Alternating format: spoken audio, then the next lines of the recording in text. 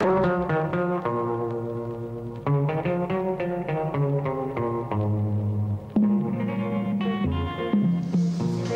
au départ, euh, c'est autour de la peinture que j'essaie un peu de travailler autour de ma ville, euh, voir comment est-ce que je peux exprimer un peu mon, rapport qu'il y a avec mon environnement urbain à Kinshasa. Après, j'ai commencé à, à, changer de médium pour aller vers la vidéo.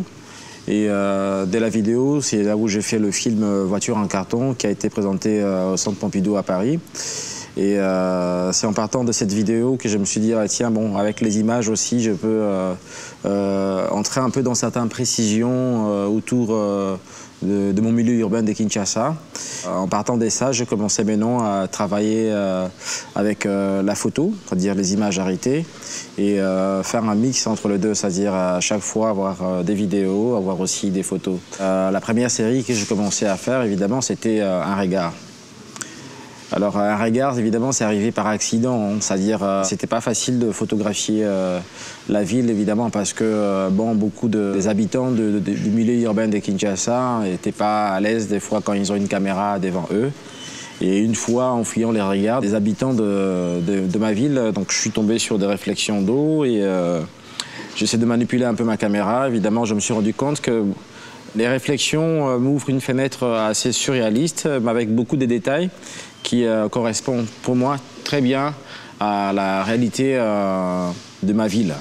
Et c'est à ce moment-là que non seulement euh, j'essayais de faire des portraits de paysages de, des rues de Kinshasa, mais en même temps avoir naturellement des gens qui posent pas, mais qui sont en train de vaquer dans leurs occupations. Mais au même moment, c'est-à-dire tout s'est mis en situation, c'est-à-dire les petits détails et les gens et euh, l'architecture et euh, le paysage. Et c'est autour de ça que je commençais à, développer euh, jour après jour la série Un regard. Dans cette série en tout, il y a 34 photos. Je reste vraiment dans le concept euh, de la peinture parce que je pense que c'est euh, possible que ça soit une photo, c'est possible de la voir aussi sous forme d'une toile. C'est par rapport à ça que je suis allé vers la réflexion parce que certaines matières de loin ou de près, tu as l'impression d'être sur, sur une toile, mais c'est une photo. Et en allant vers les réflexions, évidemment, j'essayais un peu de saturer pour avoir vraiment plusieurs informations, c'est-à-dire certains détails, pour que, euh, voilà, que je reste dans, cette respiration euh, de mes débuts de peinture, et, euh, tout en restant dans la photo. En fait, j'ai commencé à vouloir présenter le photo à l'envers parce que je, me disais, pour moi, réfléchir sur, sur un sujet, c'est presque réfléchir à l'envers. C'est une manière de poser une question à, à une réalité qu'on essaie de voir tout le jour. Et euh, ça, permet de pouvoir pousser un peu des idées plus loin. Toutes mes images euh, que je décide vraiment de sélectionner pour le mettre dans ma série, il y a toujours, il y a toujours une histoire euh, derrière.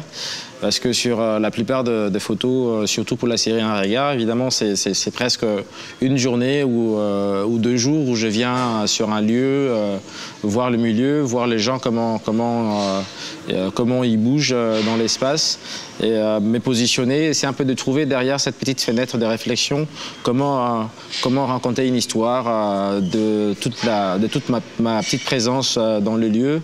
Et c'est ce qui fait que voilà, la photo comme celle qui est d'avancée, c'est une photo que j'ai prise dans le grand marché de Kinshasa. Donc c'est l'un des plus grands marchés au Congo. C'est un lieu que j'ai travaillé pendant à peu près une année quand j'étais encore à l'université. Je voyais évidemment un grand mouvement de femmes commerçantes qui arrivait à faire avancer les choses dans ces euh, milieux où il y, avait beaucoup de monde, il y a beaucoup de bruit, beaucoup d'informations. Et euh, je me suis dit, ah bah tiens, il y a une espèce d'énergie dans ces lieux. Et euh, quand j'ai découvert une petite réflexion, je me suis dit, bah tiens, je vais me poser, attendre vraiment c'est à quoi je m'attends par rapport au personnage qui reste le plus naturel qui est possible, faire, faire la photo.